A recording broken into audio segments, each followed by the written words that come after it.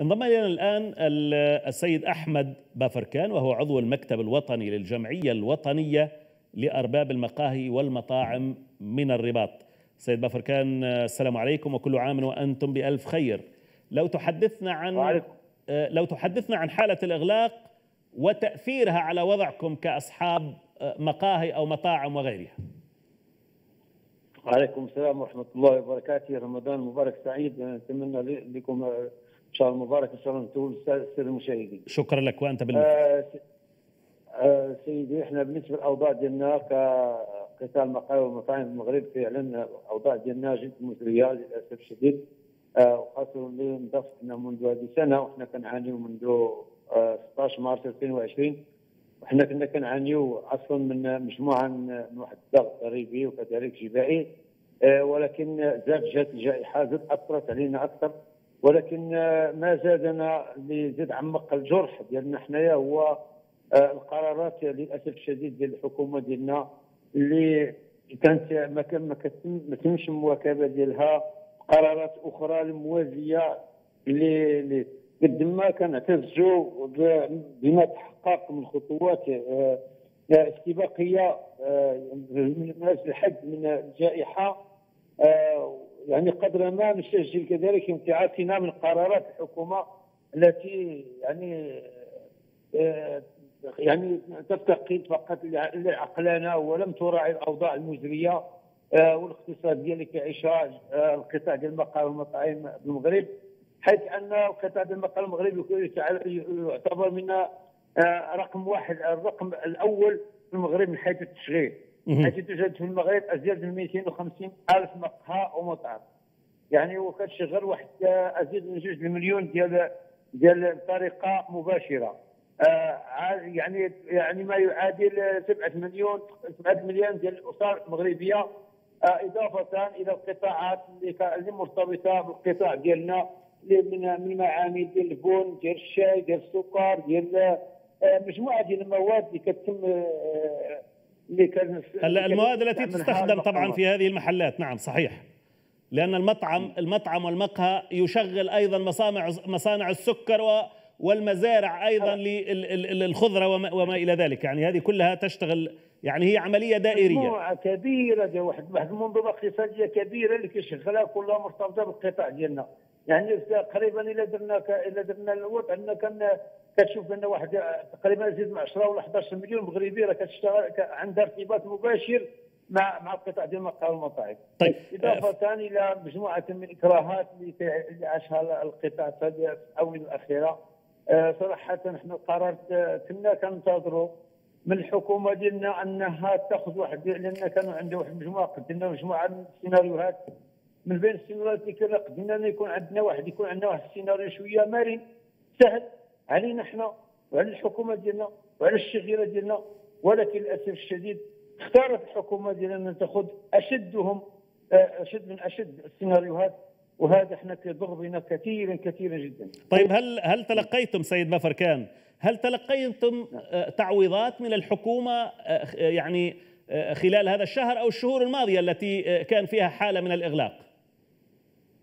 هو هو من بعد ما تم نشأت لجنة اليقظة من طرف صاحب الجلالة حفظه الله 2020 التعويض كل القرارات اللي تم اتخاذها كانت لصالح الشغيلة ولم تكن لصالح أرباب المقاهي والمطاعم آه وكانت استفادوا فيها الناس يعني العاملين هم اللي استفدوا واستفدوا في يعني في مصاريف تقريبا ما بين 1000 درهم.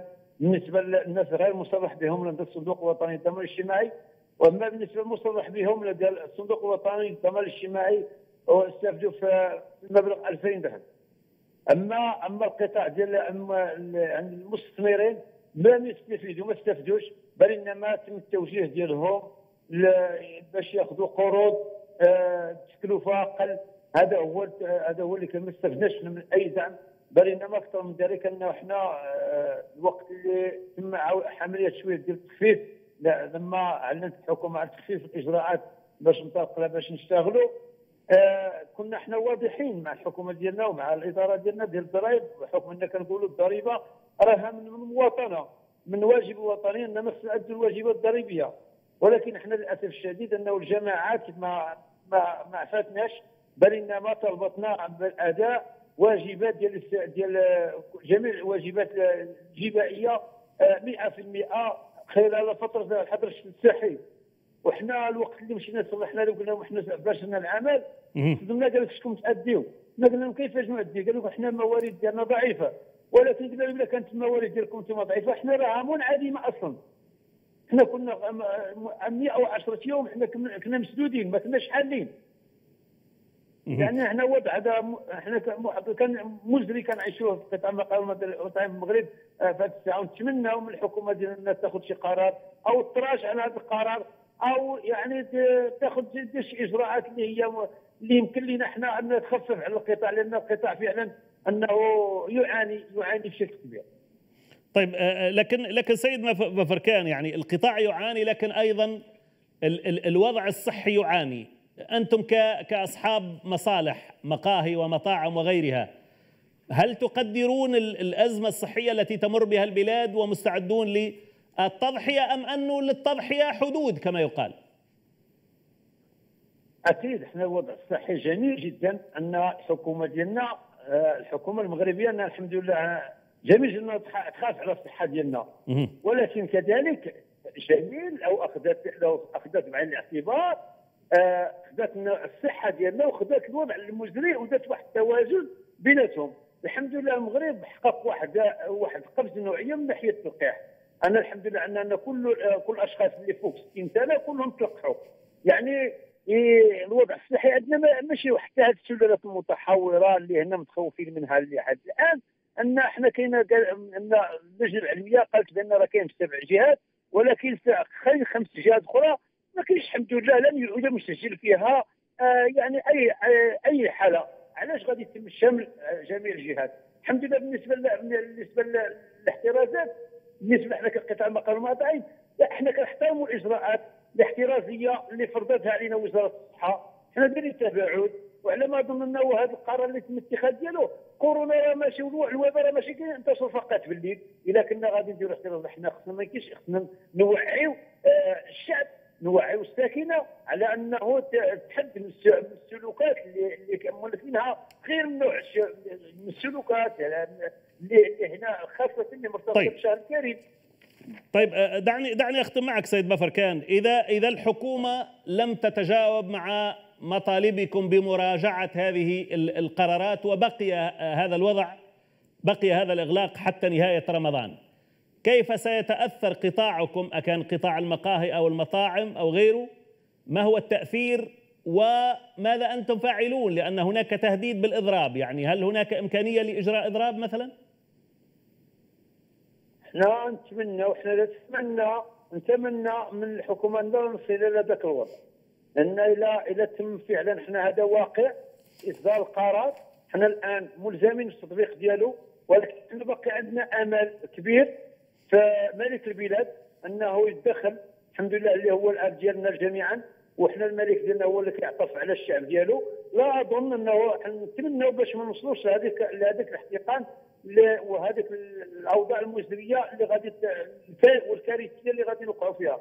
لانك تعتبر هذا القرار بمثابه بمثابة عقاب جماعي لفئات أكثر هشاشة في البلاد. قال إحنا بغينا نتقاسموا الأعباء على بلادنا. إحنا فعلا كنا عندنا الإضراب باش يكون عندنا نهار 9 أبريل يعني قبل الجمعة الماضية. ولكن نظرا آه، لتدخل الحكومة يعني قبل واحد مجموعة ديال اللقاءات آه، وابداعا وايمانا منا بالحوار آه، تم التعليق وحسن يتم التعليق الإضراب إلى أجل إلى أجل آخر. ونتمنى أننا نوصل لشي نتيجة قبل لأن لأن الوضع لا يسمح لا يسمح ابدا. لا يسمح وعلى القادرين على تحمل المزيد. السيد هذا هو الرسالة.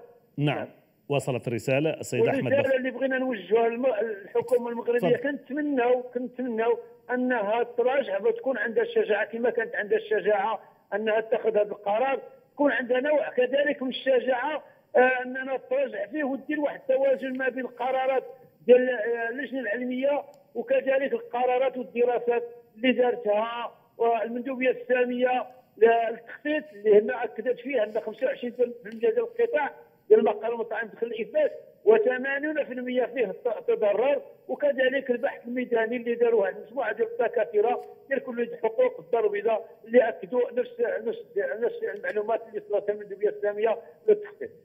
السيد أحمد بافركان عضو المكتب الوطني للجمعية الوطنية لأرباب المقاهي والمطاعم كنت معنا من الرباط نشكرك جزيل الشكر.